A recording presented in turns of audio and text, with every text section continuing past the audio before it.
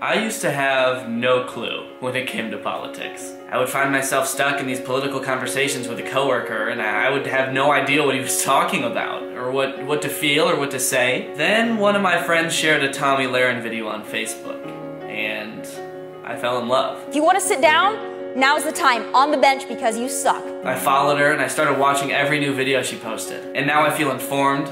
I feel confident when I talk about politics, but more than all that, I feel angry at everything. My favorite thing about Tomi is that she's never afraid to speak her mind, and she's always angry. It was your administration that failed us in everything from healthcare to immigration and yes, cybersecurity. When I get into a political debate with a friend or a coworker or a dying family member, I don't want to have to pretend to care about their point of view. I just want to yell. And Tomi empowers me to do that. It's not even just politics. I mean, I've learned so much about life from Tomi. Grow up. Life's tough. Get a helmet.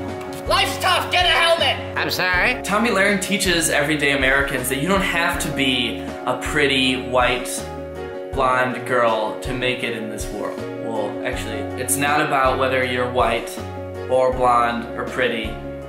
Um, what it is about is how angry you are. And she's very angry. You suck. Without Tomi, I don't know where I'd be. I'd be lost. You know, probably hanging out with friends or spending time with my family or expanding my knowledge of the world. But instead, I get to watch Tomi and get mad about things. So, what was the question? You suck.